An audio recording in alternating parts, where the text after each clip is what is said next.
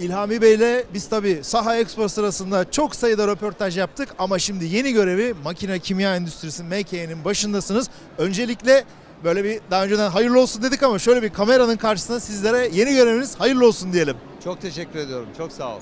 Makine Kimya çok köklü bir kurulmuş kuruluşumuz savunma sanayi ile ilgili ve tabii ki birçok proje gündemde. En başta soracağımız konu da yeni Altay tankıyla ilgili Makine Kimya neler yapıyor yeni Altay'a? Nasıl gidiyor? Çünkü önümüzdeki 2 yıllık bir kara kuvvetlerinin e, test aşaması var. Şimdi Altay tankının tankı tank yapan unsurları makine kimya tarafından yapılıyor. Yani tank ne yapar? Ateş eder. Ee, yani e, tank e, o cüsseyi, o bütün o karmaşık sistemlerinin tamamı karşı tarafa nüfuz etmek için bunun için ne kullanır? Top kullanır, makinalı tüfek kullanır. Onların ikisi de makine makine kimya tarafından yapılıyor. Dolayısıyla Sizi yakalamışken sorayım. İthal etmiyoruz değil mi biz? Hayır, Makinalı tüfek ve hayır, namluyu Hayır hayır. Yani oradaki e, şeylerin hem işin top tarafı hem makinalı tüfek tarafı tamam makinalı kimya tarafından üretilmektedir. Yerlidir, millidir. Eğer hani e, öğrenmek istediğiniz şey buysa tamamen yerli ve milli ve tamamen kendi imkanlarımızda ki bu tank topu ve makinalı tüfeği e, Altay'la bizim geliştirdiğimiz bir şey değil ki. Biz zaten yıllardır, 10 yıllardır yaptığımız iş yani. Bunun Altay'a uyarlanmış şekli. Altay'ın ihtiyaçlarını karşılayacak şekilde uyarlanmış şekli. testler nasıl gidiyor? Ne durumdasınız? Biraz da o bilgiyi sizden alalım. Testler gayet güzel. Tabii bu teslim öncesi testler e, orada istenilen performansın da üzerinde bir başarı elde edildi. Bu teslim sürecinden sonraki testlerde zaten son kullanıcı tarafından yani silahlı kuvvetler tarafından yapılmaya devam ediliyor olacak. Biz de e, seri üretim altyapısının e, o talebin daha doğrusu teslim süreçlerine uygun hale getirilmesine ilişkin hazırlıklarımızı yaptık. Orada herhangi bir sıkıntı yok. Silahlı kuvvetler evet biz artık seri üretim sürecine geçiyoruz dediği andan itibaren biz de şeyin e, BMC'nin teslim süreçlerine uyacak şekilde onların top ve makinalı tüfek ihtiyaçlarını karşılıyor olacağız. Sıkıntı yok. Gelelim Boran projesine. Geçtiğimiz günlerde de imzaları attınız bunlarla ilgili. Evet. Ne durumdasınız? Biraz da o projenin son en güncel durumunu sizden alalım. Şimdi aslında Boran e, çok önemli bir açılım oldu. Neden? Çünkü e, artık konvansiyonel harp biraz şekil değiştiriyor. Yani bunu şeyde çok net olarak gördük. Özellikle Ukrayna e, Rusya savaşında çok net olarak gördük. E, Daha öncesinde işte Doğu bloku mantığıyla ve NATO mantığıyla konvansiyonel harpler e, bir şekle girmişti. Kendince daha böyle ağır tankların, topların işte e, piyadenin ondan sonra senkronizasyonuyla yürütülebilecek türden harekatlar iken şimdi daha böyle proaktif, daha paramiliter yapıya daha yakın e, hususlarda bir takım e, neticeler alındığı görüldü. Bu da biraz şeyden de esin ka- kaynaklandı. Yani mesela Suriye'de, Irak'ta veya dünyanın belli ba- başka bölgelerinde vekalet savaşları, bu vekalet savaşlarının işte bir takım e, paramiliter gruplar üzerine, işte terör örgütleri üzerine bindirilmesi, dolayısıyla oralarda böyle çok büyük konvansiyonel yapılardan ziyade daha e, pratik, daha e, hızlı reaksiyon gösterilebilen, daha küçük gruplara karşı etkili olabilen sistemler e, daha ön plana çıkmaya başlamıştı ama e, konvansiyonel bir harp olarak Ukrayna ve Rusya savaşı başladığında bu savaşın da yavaş yavaş öbür tarafın konseptine evrildiğini görmeye başladık.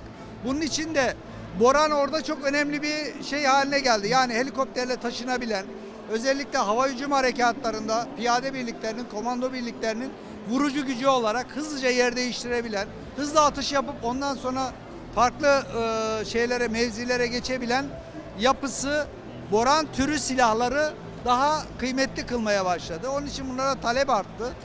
Öyle olunca şimdi dünyada bu anlamda da bizim e, bir rakibimiz daha var.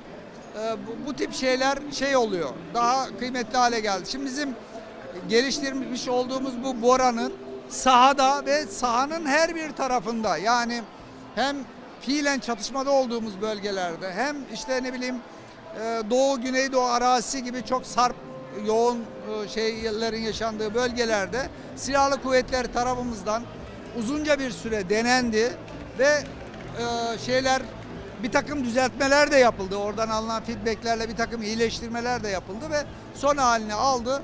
E, işte şeyde bu hafta salı günü de Savunma Sanayi Başkanlığımızla seri üretim sözleşmesini imzaladık. Ama bu daha başlangıç. İşin bir tarafında bu var. Bir tarafında mesela Bangladeş'e böyle bir satışımız söz konusu. Sözleşmesi tamamlanmış. İsim vermeyeceğim 3 ülkeyle daha böyle bir şey e, söz konusu. Hele ki o ülkelerden bir tanesi Türkiye'nin talebini üçe katlar boyutta. Dolayısıyla o alanda önümüz açılmış oldu. Silahlı kuvvetlerin envanterine bu şeyleri sokmakla önümüz açılmış oldu. Ee, Boran tarafı iyi gidiyor. İnşallah orada hem atış kontrol sistemlerinde hem diğer işte mesela ağırlığının biraz daha hafifletilmesi, işte ne bileyim istikrarının biraz daha ya vuruş e, istikrarının biraz daha artırılması için yeni teknolojinin imkanlarıyla o top kendi şeyde e, ömür devir süreci içerisinde kendisini geliştirerek ilerlemeye devam edecek. E, o anlamda güzel bir açılım oldu şeye. Son dönemde tabii makine kimyanın bir de deniz e, platformlarında kullanılan top sistemleriyle ilgili bir adımı oldu. E, ne durumdasınız? O projede işler nasıl gidiyor? Şimdi o projede e, bir şeyde e, Beykoz gemisinde testler tamamlandı. Ondan sonra orada başarılı sonuçlar alındı. Onun hemen arkasından bizim açık kar- e, deniz karakol botu ile ilgili teslim sürecimiz e, devam ediyor. İşte e, Eylül başı gibi o e, topumuzu da teslim ediyor olacağız inşallah. Arkasından e, Milgem 5, 6, 7 pardon 678 özür dilerim.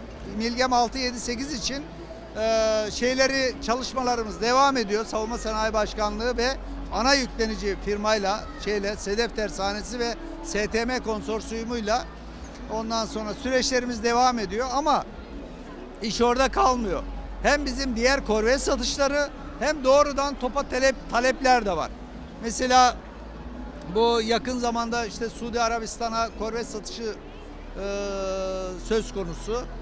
Ondan sonra o orada da alt sistem olarak yine bu e, bizim e, burun toplarının kullanılması söz konusu olacak. Bunu o yönüyle görüşüyorlar. Başka başka e, şey başka devletlere bu şekilde ama bir de onun dışında bizim sadece kendi ürettiğimiz platformlarda değil de başkalarının ürettiği platformlarda da İtalyan rakiplerimizle beraber teklif verebilir duruma geldik. Ee, orada da iyi bir şey sürece girildi inşallah. E, başta tabii Ukrayna Savaşı ile ilgili önemli bir konuya temas ettiniz. Dünya galiba Avrupa ve NATO biraz e, envanteri silah anlamında mermi, top mermisi epey düşüyor. Makine kimya olarak yeni böyle bir ihracat kapıları açılıyor mu? Bu durumla ilgili üretiminizi arttırıyor musunuz? Bir de bunu sormak isterim. Şimdi Tolga Bey, e, geçen şeydeydik, IDEX fuarındaydık. Ondan sonra onun arkasından Brezilya'ya gidildi. Ben Brezilya'ya gidemedim gerçi de Abu Dhabi'ye gittim. Ben yıllardır savunma sanayi fuarlarındayım. Hiç bu kadar agresif bir fuar görmedim. Abu Dhabi'deki kadar agresif bir fuar görmedim. Ee, yani özellikle bu konjonktürün etkisiyle insanlar artık neredeyse pazarlık bile yapmıyor. Yani bulduğunu alma derdindeler.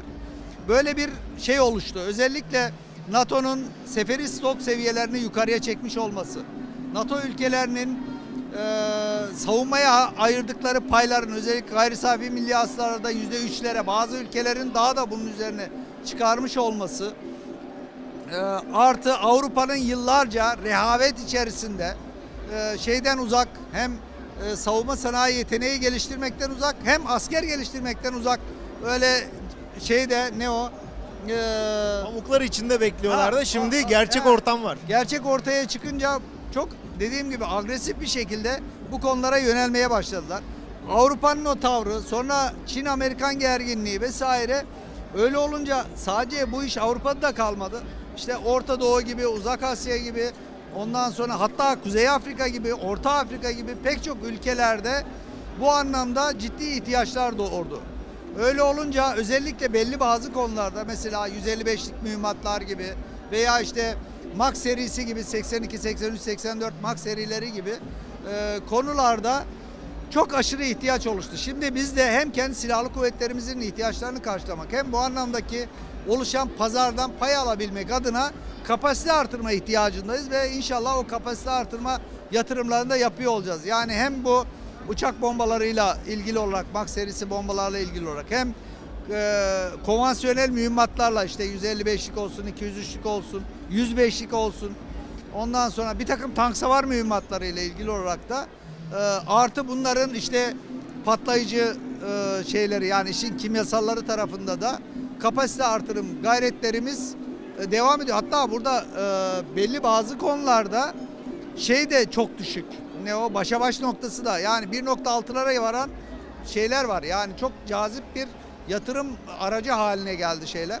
Burada tabii özel sektörümüz de e, şey yapıyor, ciddi yatırımlar yapıyorlar. Özellikle işte fişek hatları konusunda veya işte barutlar konusunda hatta belli bazı firmalar şey gibi böyle Max serileri gibi işte havanlar gibi belli bazı konularda artık özel sektörümüz de bu anlamda pazardan pay kapmaya başladı. Biz de tabii bir devlet firması olarak ondan sonra bunların hem regülasyonlarında hem onlara abilik yapma anlamında de onları şey yapma onlara alan açma anlamında eee, üzerimize düşen vazifeleri yerine getirmeye gayret ediyoruz.